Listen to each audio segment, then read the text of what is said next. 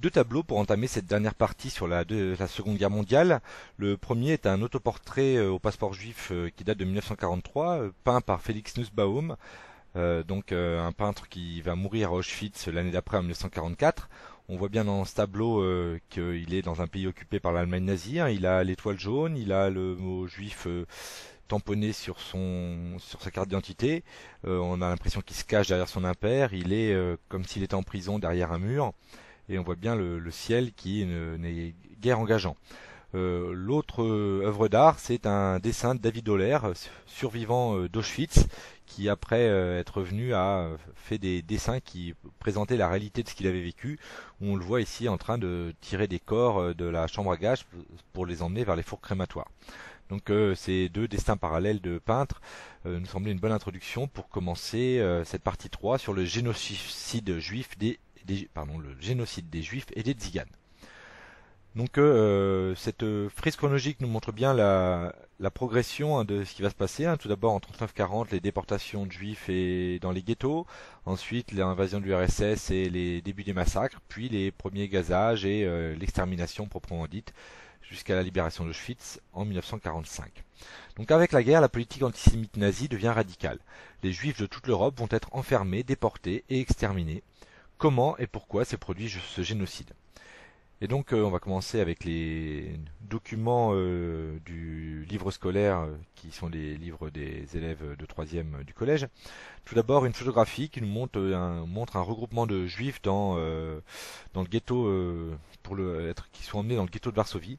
On voit qu'ils ont toutes leurs affaires. Alors qu'est-ce que c'était un ghetto? En fait c'était un quartier d'une ville en Pologne, notamment à Varsovie, où étaient regroupés tous les juifs de la ville. Donc ils étaient regroupés euh, dans un quartier qui était fermé.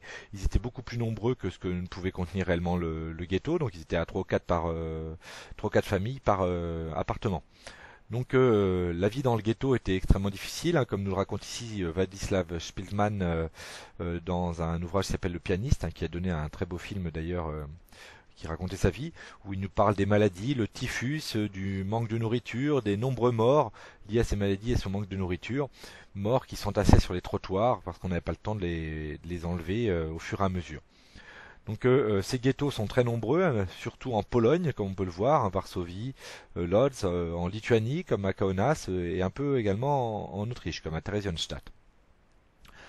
Donc euh, la deuxième étape euh, de, cette aggravation de la situation des juifs en Europe va être euh, l'invasion du RSS par les nazis, puisque on voit sur cette carte donc l'axe de l'attaque, et les armées allemandes étaient suivies par des commandos SS qu'on appelle des Einsatzgruppen.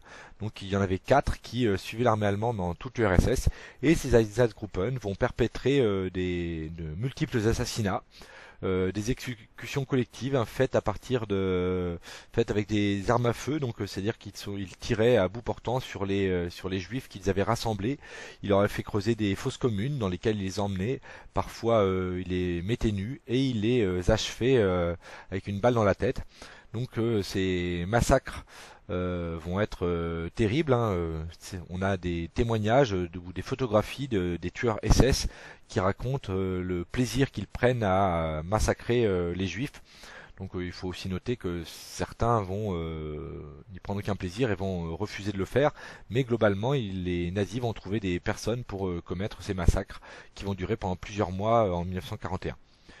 Donc pour résumer toute cette première partie, à partir de 1939, les juifs polonais sont enfermés dans des ghettos où ils sont nombreux à mourir de faim ou de maladie. Pendant l'invasion de l'URSS, les Einsatzgruppen suivent l'armée allemande, ils arrêtent et fusillent environ un million de juifs, on appelle cela la Shoah par balle. Donc un ghetto, c'est le quartier d'une ville dans lequel sont concentrés les juifs, et un Einsatzgruppen, c'est un commando SS chargé de tuer les juifs du RSS. Donc euh, euh, la deuxième étape euh, et l'étape la plus importante malheureusement va être à partir de 1942 la création de camps d'extermination comme celui d'ici d'Auschwitz-Birkenau. Il va y en avoir cinq au total avec Tremlika, Sobibor, Chemno et Majdanek. Alors qu'est-ce que c'est que ces camps d'extermination et pourquoi ont-ils été construits? Alors le commandant d'Auschwitz, Rudolf Heuss, nous a raconté la mise en place de ces, ces camps. Hein. il explique comment on a petit à petit chercher des solutions pour euh, tuer les juifs de manière plus efficace et moins sale. Hein. Heinrich Himmler, quand il avait visité les, les, Einsatzgruppen en URSS avait été choqué de la façon dont ça se passait. Il avait même été éclaboussé de sang. il s'était rendu compte que ces conditions étaient très difficiles, hein, non pas pour les juifs, mais pour les soldats allemands qui étaient chargés de le faire. Donc il a voulu mettre en place des, des solutions plus industrielles et plus efficaces. Ça a d'abord été les, des camions euh, dans lesquels on enfermait les juifs et on faisait venir les gaz d'échappement pour les tuer. Et donc euh, fin 41, début 42, euh, ils décident de mettre en place ces camps d'extermination. Alors eux, ici nous racontent qu'ils vont utiliser le zikolombé, un gaz qui était destiné à tuer les insectes. les juifs arrivent donc par train dans les camps dans le camp, ils sont déshabillés, on leur fait croire qu'ils sont désinfectés, puis sont emmenés dans la chambre à gaz où euh, ils vont euh, mourir en une dizaine de minutes euh, dans, des souffrances atroces hein, dues au gaz qui leur brûle les poumons. Ensuite, des commandos de prisonniers juifs étaient chargés de couper les cheveux, arracher les dents en or et de traîner les cadavres où ils les, dans les, jusqu'au four crématoire où ils les brûlaient.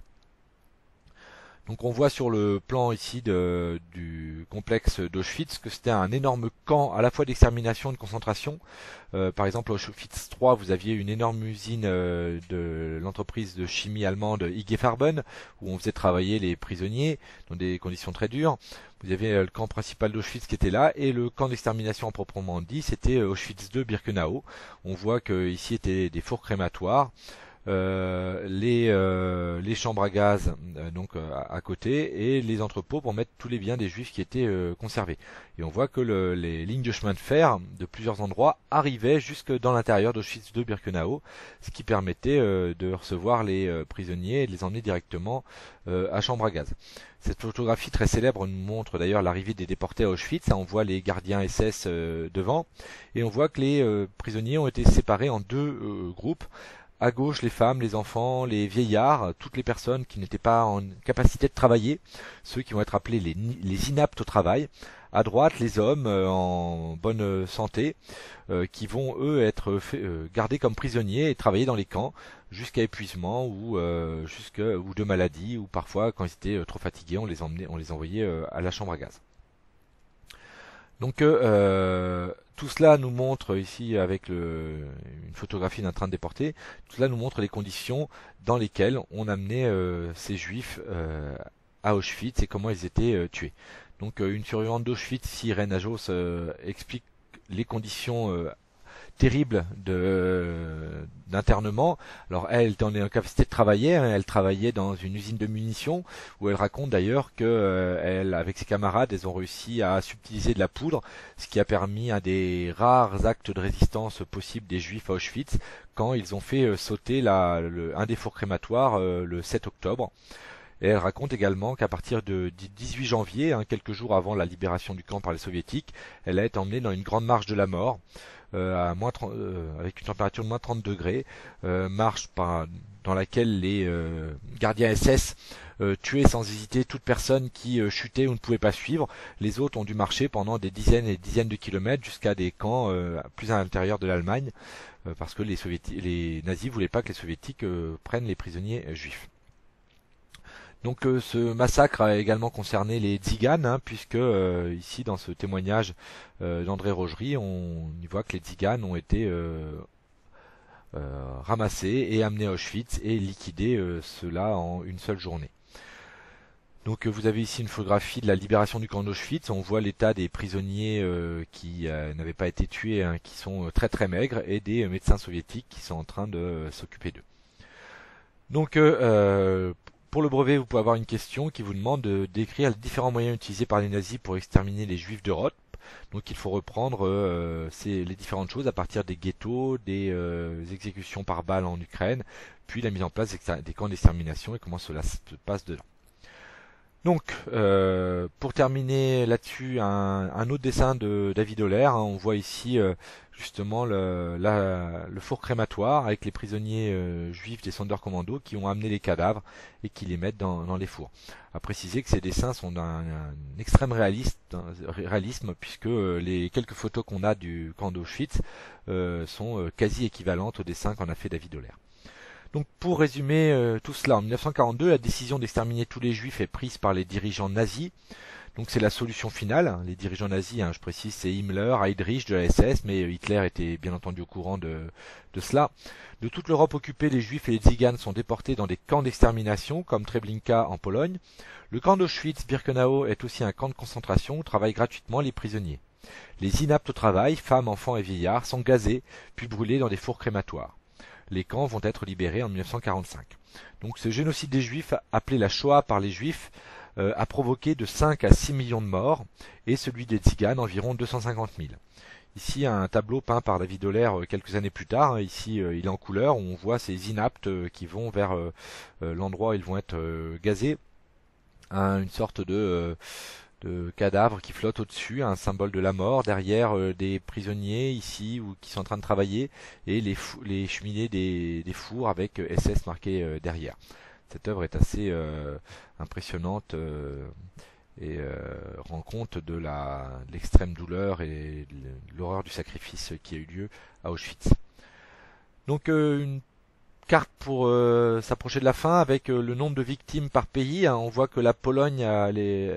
en Pologne, il y avait 3 millions de juifs qui ont, quasiment été tous massacrés. Ensuite, 700 000 en URSS.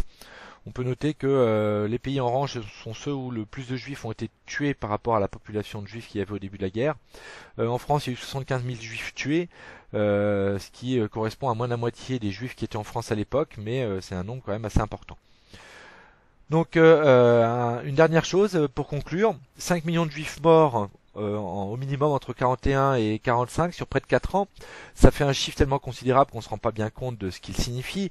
Donc si on fait une sorte de macabre calcul, on se rend compte qu'en moyenne ça fait à peu près 108 000 juifs par mois tués pendant 4 ans par les nazis, même s'il y a eu des périodes où ils en ont tué beaucoup plus que, que ça et des périodes où ils en ont tué moins. Par jour, ça fait environ 3600. Euh, par heure 150, euh, ce qui est un chiffre très important, et euh, on arrive à peu près à environ deux juifs tués toutes les minutes en moyenne par les nazis pendant 4 ans. Chiffre particulièrement faramineux et, euh, et impressionnant.